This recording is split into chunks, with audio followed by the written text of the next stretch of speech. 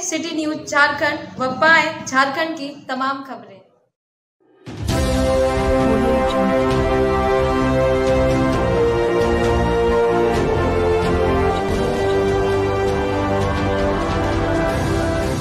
नमस्कार, आप देख रहे हैं सिटी न्यूज़ और मैं हूँ आपके साथ कंचन।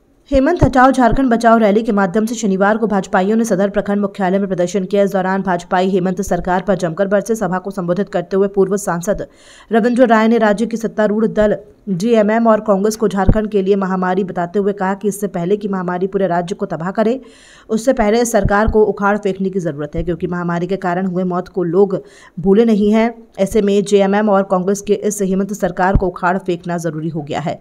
पूर्व विधायक निर्भय शाहबादी भी हेमंत सरकार पर बरसते हुए कहा कि राज्य सरकार को लूटने की छूट नहीं दी जा सकती है। भाजपा अब ईडी आयकर विभाग और सीबीआई को हर तरह का सहयोग देगी कि वो खुलकर हेमंत सरकार के खिलाफ कड़ी कार्रवाई करे और ज़मीन के साथ खरीज लूटने वाले सरकार को सत्ता से उखाड़ फेंके।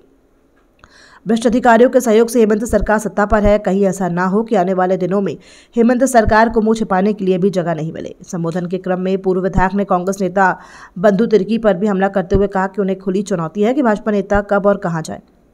जहाँ वो भाजपा नेताओं को पटक कर मार सके। इस दौरान आक्रोश रैली को पूर्व मंत्री चंद्रमोहन प्रसाद, पूर्व विधायक लक्ष्मण स्वर्णकार के साथ प्रदेश कार्य समिति सदस्य सुदेश साहू, चुन्नूकांत संदीप डंगाइच और किसान मोर्चा के दिलीप वर्मा, पूर्व मेयर सुनील पासवान, सांसद प्रतिनिधि दिनेश यादव ने भी संबोधित किया। रैली के बाद भाजपा नेताओं ने डीसी के माध्यम से राज्यपाल के नाम ज्ञापन सौंपा।